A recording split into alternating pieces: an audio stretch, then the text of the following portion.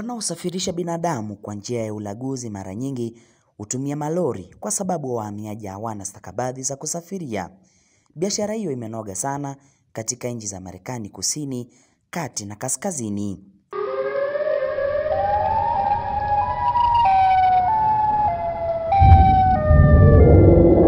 Maafisa wa kutoa huduma za dharura walifika katika eneo hilo mara moja baada ya kupokea ripoti.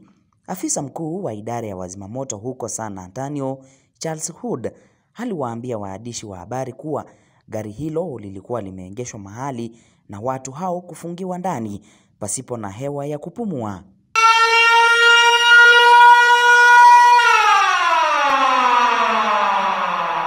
Hali ya anga katika mji wa San Antonio ni joto sana kwa sababu majira ya wakati huu ni miezi ya joto na huwa linafikia nyuzi 39.4 katika vipimo vya Richa.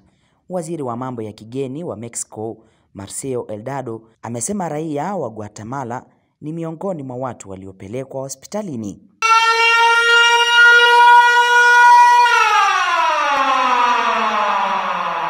Brian Zioki, Undugu TV.